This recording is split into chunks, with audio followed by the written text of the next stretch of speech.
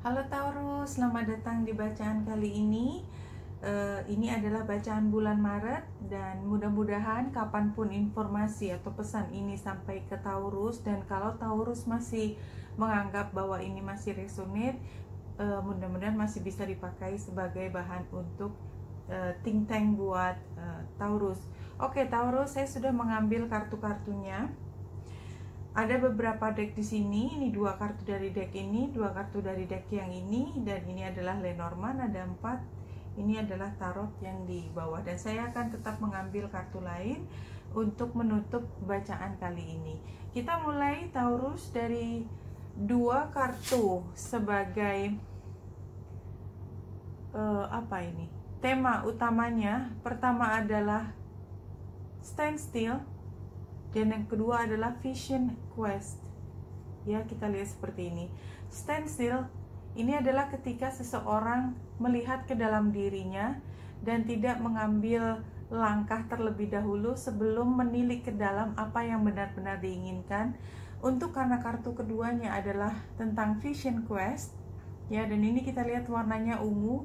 Ungu itu menandakan sesuatu yang jauh ke depan ya ini menunjukkan saat ini Taurus sedang berpikir tidak hanya untuk saat ini tetapi juga untuk ke depan. Dan kalau kita lihat fokus ya jadi energi untuk fokus dan saya pikir dengan stand still itu tadi kartunya juga sama menggambarkan pada saat ini Taurus sedang secara serius melihat apa yang selain ke masa depan tetapi juga apa yang pantas menjadi panutan bagi masyarakat di sekitar. Ya, ini kartunya adalah White Buffalo Cult Woman atau reference. Jadi ini seperti tokoh panutan. Nah, kalau kita lihat kartu yang berikutnya, ya, ini tentang kebijaksanaan dan ini juga sepertinya dari Taurusnya sendiri juga sampai pada satu sisi bahwa dari semua pengalaman yang ada, sepertinya saya harus mengambil langkah yang terbaik untuk diri sendiri, dan itu adalah komunikasi yang terus-menerus. Jadi, yang namanya gambar burung ini itu adalah komunikasi yang terus-menerus, tidak langsung sesuatu yang besar, tetapi sesuatu yang dipikirkan terus, ya. Jadi, eh, kayaknya Taurus karena ada dua kartu ini, ya menunjukkan kalau Taurus sekarang sedang mencari arah keputusan yang terbaik buat Taurus. Dan ini adalah proses pengambilan keputusan. Dan karena ini ada kartu taman di sini artinya Taurus berharap bahwa keputusannya ini adalah yang terbaik buat semua. Tentunya termasuk dirinya. Dan mudah-mudahan termasuk dirinya. Karena kadang-kadang Taurus tanpa disengaja ya mengambil keputusan itu bukan yang terbaik buat dirinya sendiri tapi lebih fokus ke orang banyak dan itu kadang-kadang membuat Taurus merasa kelelahan dan itu perlu sangat berhati-hati. Oleh sebab itu, Two of Fire sekarang situasinya artinya adalah seperti hal ini Vision Quest saat ini Taurus lebih berfokus pada jadi ke depannya saya mau apa. Karena pada saat ini apa yang saya butuhkan itu belum bisa saya peroleh ya.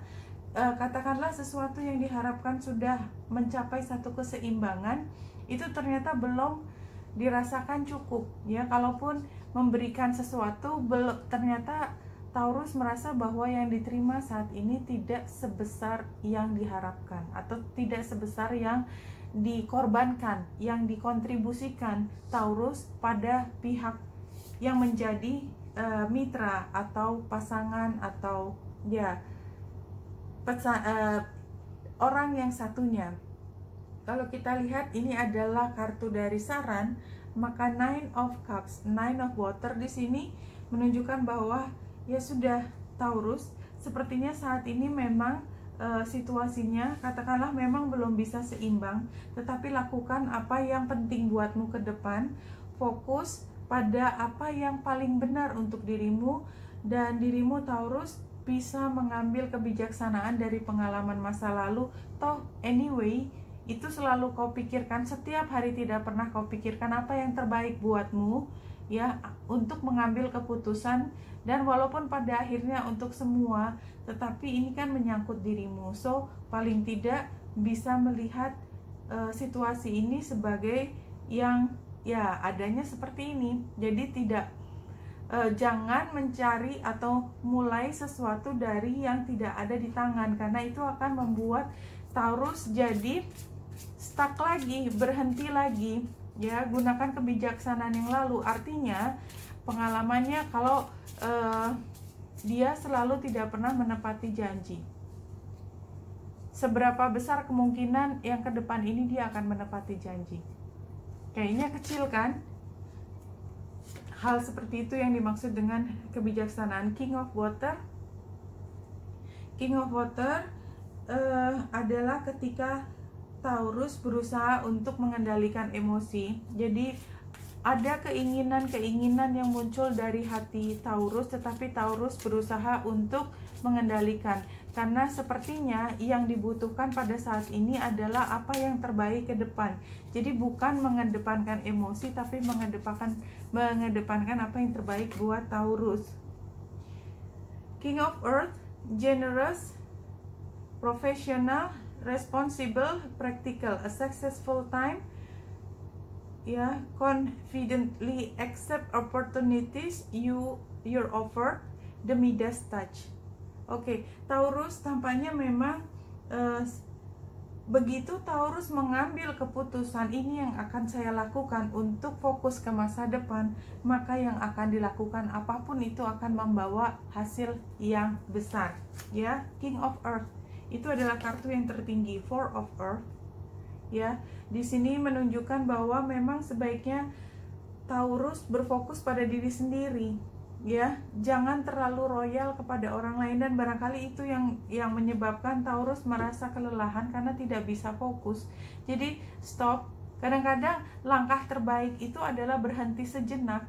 Sebelum terus aja ya seperti naik sepeda kalau kita terus jalan sambil mencari kompas sampai mencari arah kadang-kadang ketika kita menemukan bahwa kita salah arah itu sudah cukup jauh untuk kembali lagi dan kemudian meneruskan ke jalan yang seharusnya dilewati. Nah, jadi akan jauh lebih efisien, lebih bermanfaat kalau diam. Lihat ke depan dulu sebelum melangkah dan kira-kira seperti ini. Jangan menghabiskan sumber daya dulu sebelum tahu sebenarnya arahnya mau ke mana. Ya, arahnya mau ke mana? Jangan-jangan sudah ditungguin ya tiga jam Tahu-tahu Taurus ditinggal. Kira-kira rasanya seperti apa? Balance. Ya, justice ini. Ya. Oh, the need for balance bukan. Ini kartu Sagittarius ya, temperance. Temperance. Uh, a need for balance and moderation, cooperation and compromise, wait for wait for perfect timing.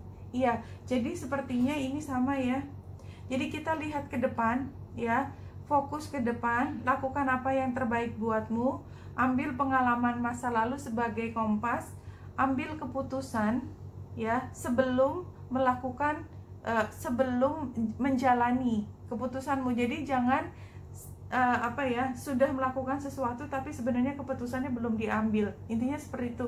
Karena seberapa lucunya kedengarannya ya sudah jalan walaupun belum mengambil keputusan itu sering kali terjadi ya. Jadi e, ruginya adalah ketika ternyata keputusannya tidak sejalan dengan e, apa ya pikiran pertama. Kalau kita berganti arah. Sonya I bring you a message from your deceased loved one. I am happy at peace. I am happy at peace and I love you very much. Please don't worry about me. Ini kartunya. Barangkali memang saat ini ya entah ini masa lalu ya ini memang cerita masa lalu ya paling tidak kartu ini menunjukkan masa lalu dan ini fokusnya disuruh ke depan ya kan ini semua arahnya suruh ke depan barangkali karena Taurus masih terlalu attach ya masih terlalu terikat dengan situasi masa lalu. Karena ini bacaan umum ya Taurus bukan perorangan. Jadi the deceased one atau yang sudah mendahului kita itu belum belum tentu berarti sudah meninggal tetapi sebenarnya sudah lewat masanya ya. Dan kalaupun uh, Taurus ragu-ragu apakah saya pergi apa enggak kalau saya pergi nanti bagaimana dia dan lain sebagainya itu sebenarnya pesannya di sini adalah they're going to be okay. Yang penting adalah dirimu Taurus. Buatlah rencana yang terbaik untuk dirimu. Jangan melihat ke masa lalu lagi. Bukan berarti tidak penting masa lalu tetapi yang penting adalah saat ini dengan dirimu ya. Have faith and hope because there is something positive new positive and new on the horizon that you cannot yet see. Iya di depan ada sesuatu yang yang kamu belum tahu sekarang jadi yang lalu jadi ini jelas dua kartu ini menunjukkan bahwa lepaskan masa lalu lah jelanglah masa depan oke okay? Oke, kita akan tutup bacaan ini dengan deck yang terakhir. Ya, deck yang terakhir dengan bacaan bebas. Kita lihat apa yang bisa kita sampaikan. Oh ya, happiness. Happiness diperoleh ketika Taurus mendapatkan kejelasan tentang bagaimana peran Taurus di dalam masyarakat ya. Masyarakat ini sangat penting buat Taurus dan Taurus kayaknya memang sarannya adalah tinggalkan masa lalu ya apa pun maknanya buatmu ya majulah ke depan di sana me mungkin memang belum jelas ada apa ya perubahan mungkin belum jelas apa di depan tetapi setidaknya uh, di depan itu ada hal yang baru ya. Dan itu lebih besar potensinya untuk menjadi stabil. Dan ini membawa kemungkinan Taurus untuk bisa lebih luas daripada lingkup yang uh, ada sekarang. Karena yang sudah berlalu itu adalah memang sudah selesai judgement ya. Dan yang baru itu walaupun berasal dari masa lalu tetapi adalah sesuatu yang memang akan bisa dikembangkan ke depan. So lihat ke depan ya dan fokuskan pada apa yang kau inginkan saat ini. Hati memanggil ke mana dan di situlah maka akan bertemu dengan kemakmuran. Dan mudah-mudahan jika memang yang dicari adalah sosok maka Taurus ini mungkin tentang dirimu dan mungkin juga tentang orang lain dari zodiak tanah Capricorn, Taurus atau Virgo. Oke Taurus, ini bacanya buat Taurus wanita yang dasar di sini semoga membantu salam hati dan cahaya.